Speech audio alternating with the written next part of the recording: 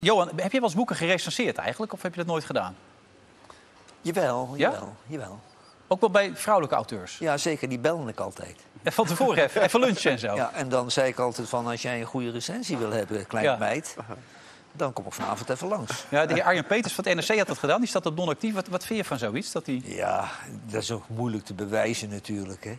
Ik, ik hoorde het op de radio, dat is tegenwoordig ook al nieuws. Het is ook een beetje raar dat de Volkskrant, de deftige, keurige Volkskrant... Ja. eh, dat uit laat lekken. Wat heeft die man nou gedaan of wat heeft hij misdaan? Nou ja, wat jij net schetst. Hij zegt, zegt eh, ik ga morgen een recensie over schrijven, zullen we even lunchen. Dat schijnt niet de enige keer te zijn geweest bij deze dame. Maar Ja, maar andere- je kunt ook met iemand lunchen voordat je een recensie schrijft... om even over het boek te praten. Dat is waar. Maar het En waren alleen vrouwelijke hoeft niet, auteurs, eh, auteurs waar hij dat altijd toestuurde. Ja, maar jij wil horen Nee, dat nee, die, maar eh, ik wilde mij aangeven. Het is toch niet handig om dat te doen? Als je een boek gaat recenseren, lees je het boek toch en dan schrijf je toch gewoon een recensie? Of Ja, nou maar gek? ik kan me voorstellen dat ik eventjes contact wil hebben om naar bepaalde dingen. Maar jij vertelt nou het verhaal dat hij tijdens het lunchen twee vingers in de muts stak of zo.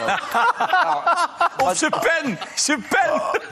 Ja. Teringviezerik. Weer zo'n Volkskrant pen Hij stak zijn pen in de Ja. muts. Ja. Speuk.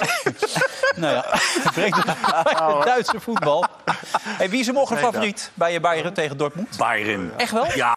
Hey mensen, jullie moeten zeker kijken naar Veronica Inside. Met de nieuwe app Werelds.